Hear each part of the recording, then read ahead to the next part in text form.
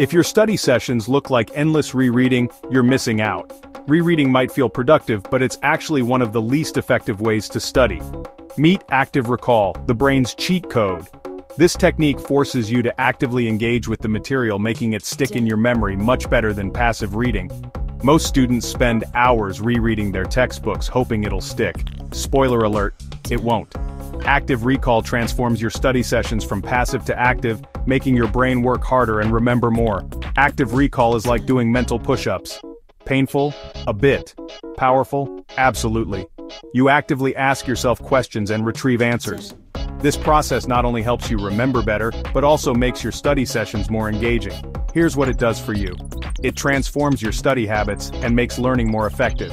Doubles your memory retention, speeds up revision, builds confidence, exposes knowledge gaps early. How to do it? It's simple but requires discipline. Close your book after a paragraph. This forces you to recall what you just read, reinforcing the information in your memory. Ask yourself, what did I just learn?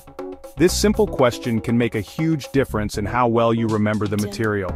Write the answer from memory, check, correct, repeat, use flashcards, draw mechanisms from memory, teach a friend or a teddy bear, quiz yourself daily.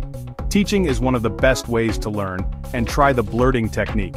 This involves writing down everything you know about a topic in one go, then checking for gaps. Still highlighting your book like it's a coloring competition? Highlighting can be useful, but it's not enough on its own. Switch to active recall and experience how organic chemistry starts making sense, one question at a time. Follow my YouTube channel for more tips and tricks. Stay tuned for more ways to make your study session super effective.